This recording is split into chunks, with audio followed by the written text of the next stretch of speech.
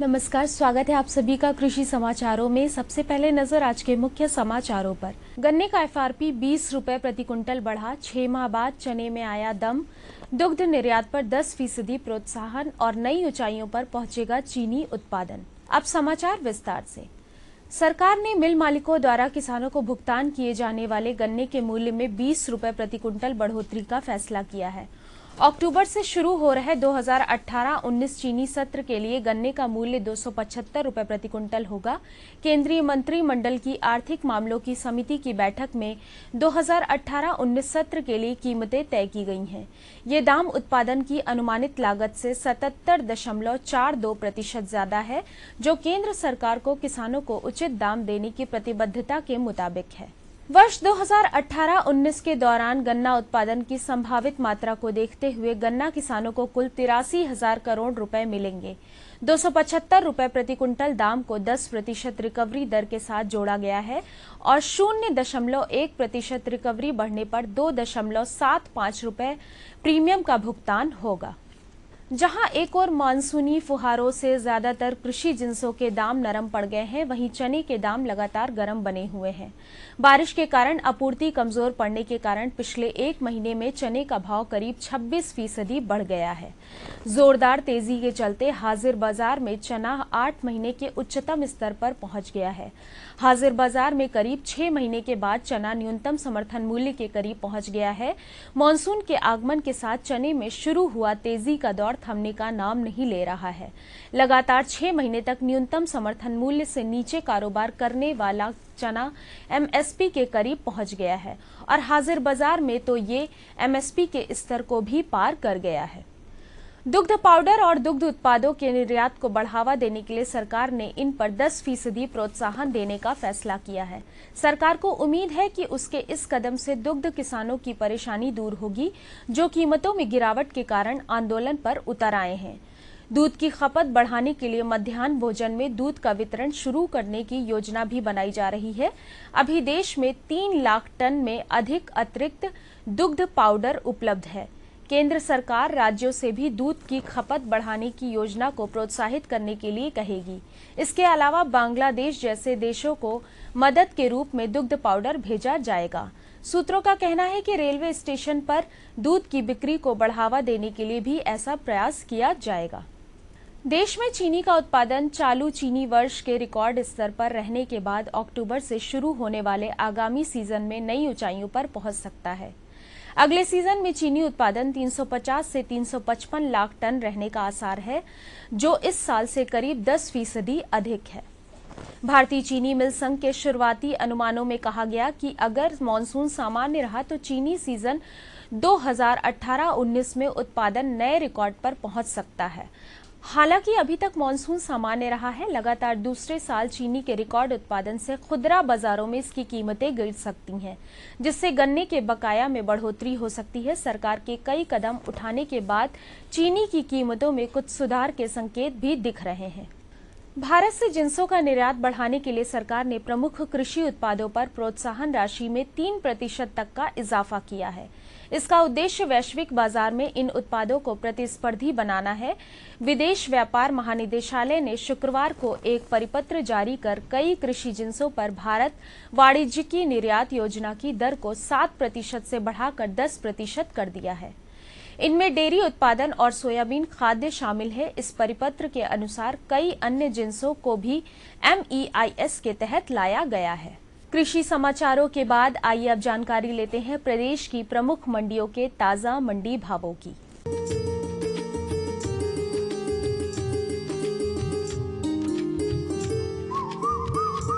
गेहूँ की बात करें तो लखनऊ में एक हज़ार छह सौ चालीस रूपए प्रति कुंटल कानपुर में एक हज़ार छह सौ सत्तर, सीतापुर में एक हज़ार छह सौ दस और रायबरेली की मंडी में एक हज़ार छह सौ नब्बे रूपए प्रति कुंटल की दर रहा। चावल का भाव लखनऊ की मंडी में दो हज़ार तीन सौ रुपये प्रति कुंटल कानपुर में दो हज़ार पाँच सौ, सीतापुर में दो हज़ार चार सौ पचास और रायबरेली की मंडी में दो हज़ार चार सौ तीस रुपये प्रति कुंटल की दर देखा गया। आलू लखनऊ में एक हज़ार तीन सौ पचहत्तर रुपये प्रति कुंटल कानपुर में एक हज़ार पाँच सौ, सीतापुर में एक हज़ार पाँच सौ सत्तर और रायबरेली की मंडी में एक हज़ार सौ रुपये प्रति कुंटल की दर रहा। प्याज के भावों की बात करें तो लखनऊ में एक हज़ार चार सौ पचास रुपए प्रति क्विंटल, कानपुर में एक हज़ार पाँच सौ चालीस, सीतापुर में एक हज़ार चार सौ अस्सी और रायबरेली की मंडी में एक हज़ार पाँच सौ पचास रुपए प्रति क्विंटल रहा। वहीं टमाटर का भाव लखनऊ की मंडी में दो हज़ार दो सौ रुपए प्रति क्विंटल, कानपुर में दो हज़ार तीन सौ, सीतापुर में दो हज़ार तीन सौ साठ और रायबरेली में दो हज़ार दो सौ सत्तर रुपए प्रति क्विंटल बिका। फलों की बात करें तो आम का भाव लखनऊ की मंडी में दो हज़ार छह सौ रुपए प्रति क्विंटल, कानपुर में दो हज़ार सात सौ पचास, सीतापुर में दो हज़ार सात सौ और रायबरेली में दो हज़ार छह सौ पचास रुपए प्रति क्विंटल रहा। वहीं केले का भाव लखनऊ की मंडी में एक हज़ार दो सौ रुपए प्रति क्विंटल, कानपुर में एक हज़ार पाँच सौ, सीतापुर में एक हज़ार पाँच सौ और रायबरेली में एक हज़ार छह सौ रुपए प्रति क्विंटल रहा। तो किसान भाइयों, ये थे आज के कृषि समाचार और औसत मंडी भाव। अगले अंक में आपसे फिर भेंट होगी। तब तक के लिए दीजिए हमें अनुमति। नमस्कार। अरे सुन तो। मुझे क्या सुनाना चाहते हो? जो सुनाओ मेरी सौतन को। किसको? अरे वही तुम्हारा मोबाइल फ़ोन जिससे सुबह शाम दिन रात चिपके रहते थे और कहते थे किसान कॉल सेंटर से बातें हो रही हैं। हम्म? अच्छा ये बात है। हाँ क्यों? क्या हुआ? अब बात नहीं होती क्या? अब तो झट से बात हो जाती है। ऐसा क्या? हाँ अब तो ज़्यादा लाइनें और खास तकनीक के कारण खेती के माहिरों से तुरंत बात हो जाती है। और अगर कभी लाइन व्यस्त हो तो अपनी समस्या फ़ोन पर रिकॉर्ड करा दो। वहाँ से फ़ोन आ जाता है और समस्या की हल्का मैसेज भी आ जाता है। ये देखो आ गया। अरे वाह इसका मतलब इंतज़ार की घड़ी अब खत्म। हाँ। तभी मैं सोचूं कि आजकल मुझ पर इतना प्यार क्यों आ रहा है। कृषि संबंधी समस्याओं का अपनी भाषा में तुरंत हल पाने के लिए पूरे भारत में किसी भी फ़ोन से हेल्पलाइन नंबर पर संपर्क करें। किसानों का दोस्त किसान कॉल सेंटर सूखा हो या बेमौसम की बरखा हो कीड़ा लगे खेत में या दुविधा हो बहुत ही कम प्रीमियम पे पूरी हो भरपाई फ़सल भी बीमित रहे। कटाई के बाद भी भाई। हाँ ऋणी या अऋणी अब हर किसान लाभ उठाए। एक मौसम कदर है सब किसान बीमा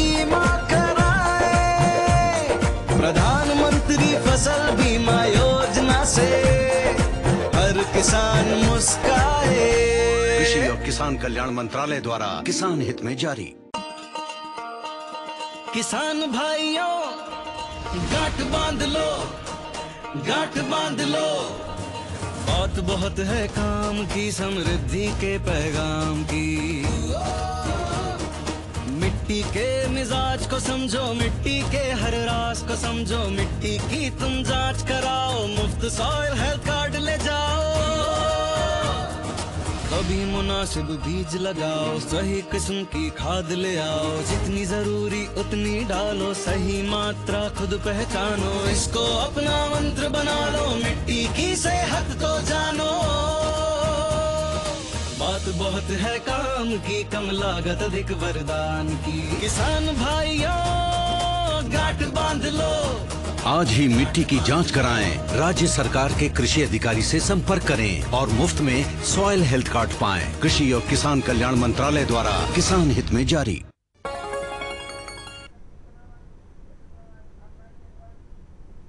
कृषि समाचार के बाद कृषि दर्शन के सजीव फ़ोन इन कार्यक्रम में आप सभी का स्वागत है। बहनों भाइयों, अपने इस कार्यक्रम के दौरान हम कोई समसामयिक विषय लेते हैं और उस विषय से संबंधित आपकी जिज्ञासाओं एवं प्रश्नों का समाधान अपने एक विशेषज्ञ के माध्यम से कराते हैं। तो आज के हमारे सजीव फ़ोन इन कार्यक्रम का विषय है फल एवं सब्जियों में सामायिक कार्य। और इस विषय पर जानकारी देने के लिए आज हमारे बीच में उपस्थित हैं उद्यान एवं खाद्य प्रसंस्करण निदेशालय लखनऊ के संयुक्त निदेशक डॉक्टर रविंद्र कुमार तोमर जी। डॉक्टर साहब आपका स्वागत है। डॉक्टर साहब सबसे पहले हम आपसे प्रश्न करें इससे पहले हम आपको बता दें बहनों भाइयों कि हमारी सभी फ़ोन लाइनें खुल चुकी हैं। आप सीधे हमारे विशेषज्ञ से संपर्क कर सकते हैं और इसके लिए आप हमारे फ़ोन नंबर नोट कर लें। हमारे फ़ोन नंबर है शून्य पाँच दो दो दो दो आठ आठ छः नौ आठ। दूसरा नंबर है शून्य पाँच दो दो दो दो शून्य पाँच सात पाँच छः एक टोल फ्री नंबर भी नोट कर लें एक आठ शून्य शून्य एक आठ शून्य पाँच दो तीन तीन। तो बहनों भाइयों अब हम जानकारी प्राप्त करेंगे फल एवं सब्जियों में सामायिक कार्य के बारे में। डॉक्टर साहब सबसे पहले हम ये जानना चाहते हैं कि हमारे जो बाग हैं उनमें तोड़ाई का कार्य लगभग समाप्त हो चुका है। तो ऐसे समय में अब हमारे किसान भाइयों को क्या थोड़ा आराम करना चाहिए या फिर कुछ और कृषि कार्य हमारे बागों में करने हैं? देखिए, जैसा कि आपने भी कहा कि अब फ़सल खत्म हो चुकी है या कुछ क्षेत्र ऐसा है जहाँ की फ़सल चल रही है और वो आगाम, आगामी माह में पूरी फ़सल खत्म हो जाएगी। किसान भाइयों को जब हमारी फ़सल खत्म हो जाती है, उस समय हमें ज़्यादा ध्यान देने की आवश्यकता है। क्योंकि जब हमारी फ़सल चलती है तो उस समय तो पूरा ध्यान रखते हैं। लेकिन जब फ़सल खत्म हो जाती है, उस समय किसान भाई ध्यान नहीं देते। अगर वो ध्यान से अपने पाक को देखें तो इस समय उसमें सबसे ज़्यादा कीड़े, बीमारियाँ और पोषक तत्वों की कमी साफ़ तौर से नज़र आएगी। और यही समय है जब हम आगा, आगामी जो फ़सल लेते हैं आगामी फ़सल जो हमें आगामी वर्ष में जो हमारी फ़सल आएगी उसमें किस तरह की क्वालिटी हो ये निर्धारण अभी से शुरू हो जाता है। तो डॉक्टर साहब जैसे कि आपने बताया पोषक तत्वों की कमी आ जाती है। जी। तो उन पोषक तत्वों की कमी को पूरा करने के लिए हमारे किसान भाइयों को क्या करना देखिए तुरंत इस समय पहले जैसे वर्षा ऋतु आ गई है, वर्षा होती है और बहुत ही बागों में घास फूस खड़ा होगा तो उसके लिए तैयारी करें। पहले एक अगर बरसात नहीं है, ज़मीन सही है तो एक जुताई करा दें और जुताई के साथ साथ यदि उसमें खाद डालने लायक नहीं है तो वो छिड़काव के माध्यम से भी कर सकते हैं और उसके माध्यम से जब आप करेंगे तो आप अच्छा उसका परिणाम प्राप्त कर सकते हैं। आप दो परसेंट यूरिया का छिड़काव कर सकते हैं। अगर आपके पौधे व्यस्क हैं और उसमें मतलब 10 साल से अधिक हैं तो आप प्रति पौधा 500 ग्राम कम से कम यूरिया है, उसको तुरंत डाल दें। इससे क्या होता है, जैसे अंतरिम सहायता के तौर पे पौधा अपने आप एनर्जी लेता है।